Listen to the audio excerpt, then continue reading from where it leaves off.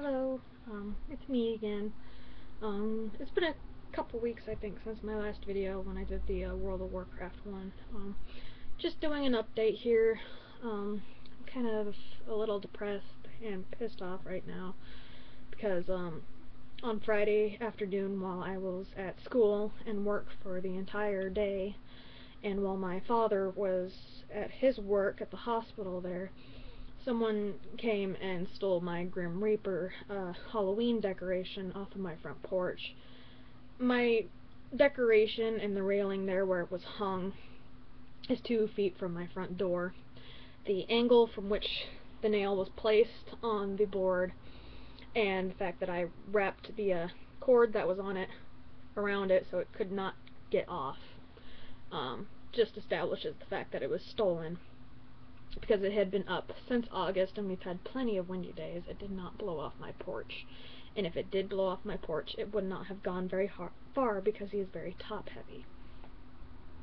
And now today, this morning, after I got off of work, um, I stopped by my house and saw that my uh, my bike wasn't on the front porch, so I figured maybe my dad moved it, maybe he put it in the shed, the garage, wherever. I checked every room in the house, I checked the basement, I checked the shed, I checked the garage someone officially stole my bicycle, and that was my only means of transportation besides my feet. So I am very, very upset. I've had probably at least 50 to 60 dollars worth of merchandise stolen off of my front porch uh, within a three day period.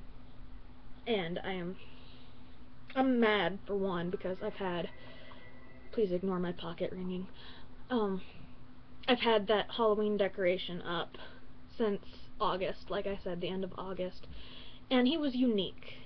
He wasn't like your standard Grim Reapers. He he looked like a Grim Reaper, all except for he had shoulder-length gray hair and a black top hat with a purple ribbon. He looked more like a cemetery caretaker or a funeral director more than he did a Reaper, which kind of fit into my uh, whole cemetery uh, get-up that I have at the front of my house.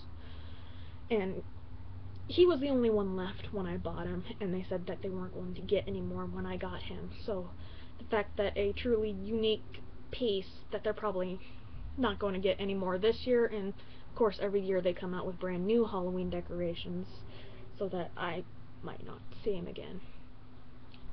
Um, I'm also angry because they did this when they knew I wasn't home, my father wasn't home, and my neighbors weren't home which might give credibility to the fact that it might be high schoolers, because I live two blocks from a high school, just probably some jack-off kids, um, just trying to get their rocks off to see how much they can, but part of me is thinking, the paranoid part of me is thinking that maybe somebody's scoping the place out to see how much they can get away with, and if they can get away with enough, they might come back the third time, and, uh, try to see what they can take out of the house itself. And I've got my place, uh, my PlayStation 2, even though it doesn't work, it's still worth something. I've got video games, I've got movies, um, my dad's got a laptop, I've got my Xbox 360. Um, we've got enough stuff here that it doesn't seem like a lot to other people, but it's enough to someone who's desperate for money to steal. And I don't know what to do. I called the cops, I filed a report, and there's nothing much I can do about it. But, um, I ever catch those little suckers who took my bike and my Halloween decorations. And anyone who knows me knows that Halloween is my holiday. I live and breathe that shit. And I don't celebrate Halloween just one time a year. It, it's all fucking year round. It's never ending Halloween for me.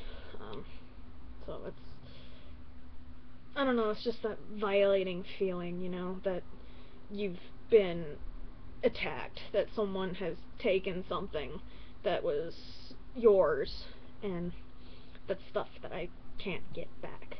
I could replace it with something different, but it's not going to be the same.